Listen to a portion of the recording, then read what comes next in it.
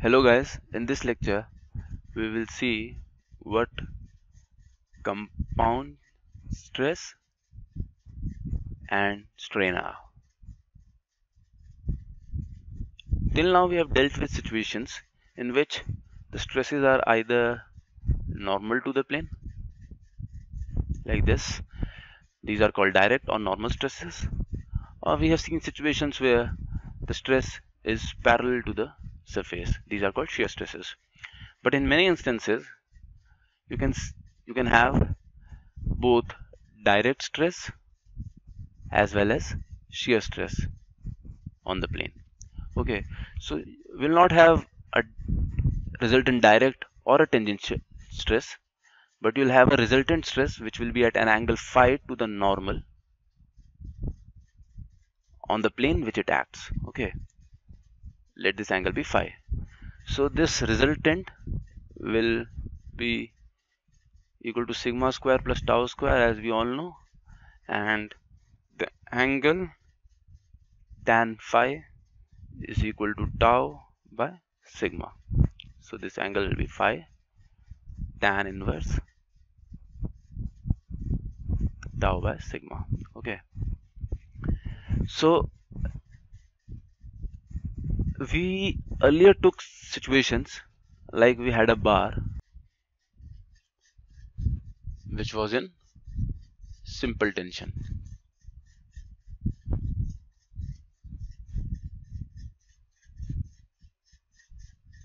So any section which is parallel to the plane on which the stress is acting it will have normal stresses.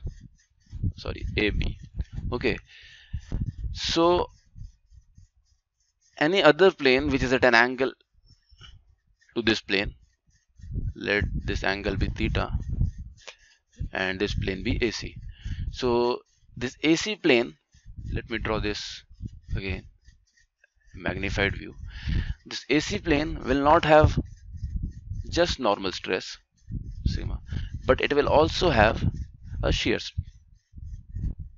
let this be tau AC this will be sigma AC in this lecture we will see what sigma AC and tau AC are how to calculate these values.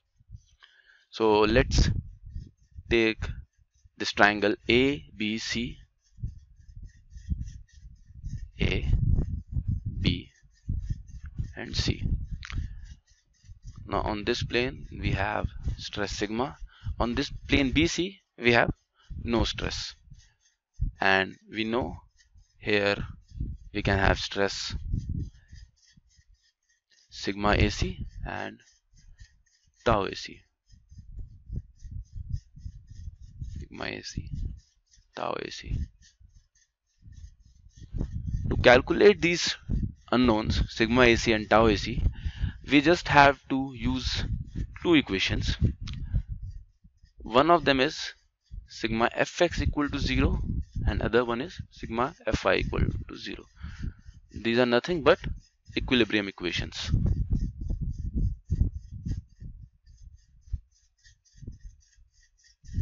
Okay. So first of all this equation suggests that forces in x direction if this direction is x and this direction is y.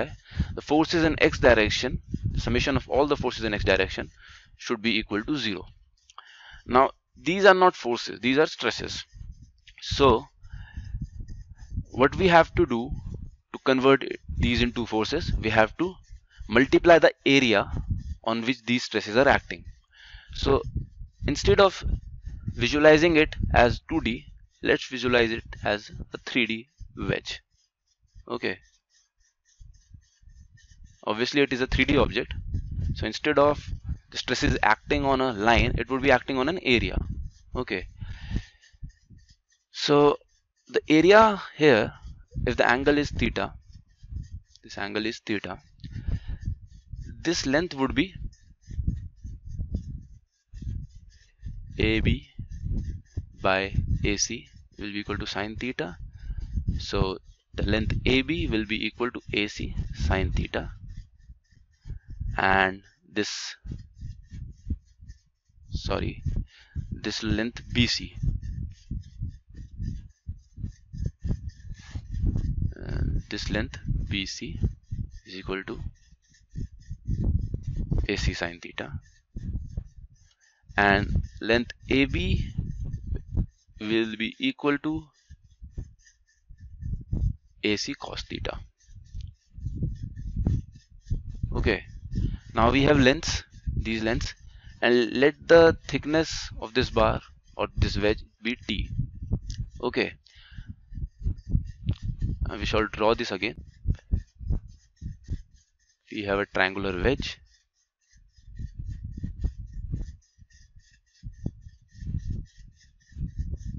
okay this is length A this is length C and this is length B. Your AB was AC cos theta. Your BC was AC sine theta. And this let this be D and E and let this point be F. Now BD was equal to T. So and stresses acting on this was sigma AC and this was tau AC and here the stresses were sigma. And this angle will be theta. This is 90 degree. So this angle will be 90 minus theta. This is x direction this is y direction. So if we do summation fx equal to 0 we'll have components of two forces a force due to sigma AC and a force due to tau AC now the force due to sigma AC is sigma AC is sigma AC first of all we have to get the forces which is equal to stress into the area on which it is acting. Now sigma AC is acting upon the area ACEF so area will be length AC into length EC which is equal to BD or thickness. So this is the force due to sigma AC and the component of this along the x direction will be cos of 90 minus theta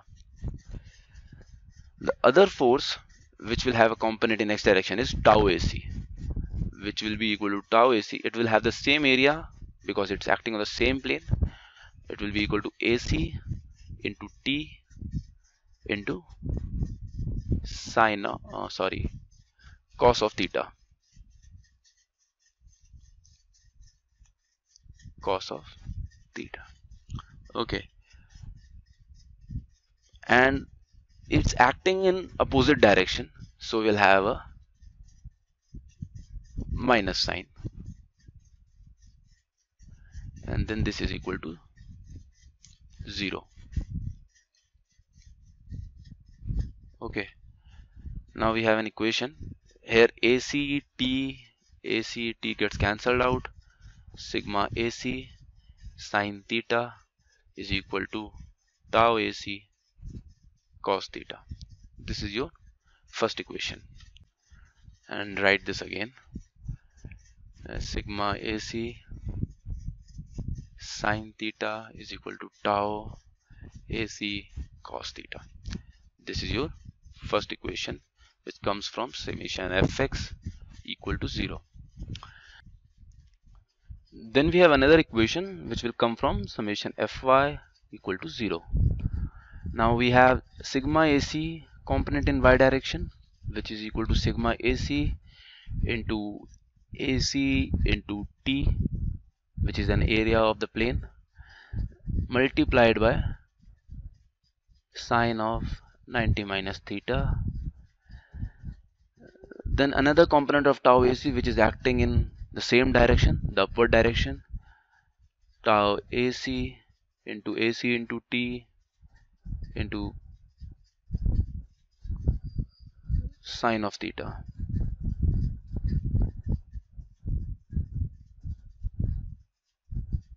Sine of theta. Then we have another force acting in y direction due to this sigma. Okay so this will be in downward direction. So it's minus sigma into AB and then thickness BD is equal to T. This is area. This is equal to 0 now we had AC